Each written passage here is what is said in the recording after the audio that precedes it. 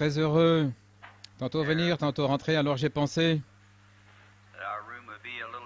que la pièce serait un peu étroite, mais nous sommes heureux. Vous savez, certains de nos rassemblements les plus spirituels, c'est là où deux ou trois sont assemblés.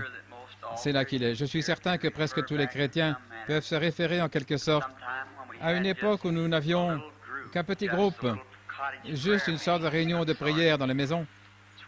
C'est là que j'ai passé certains de mes moments les plus bénis,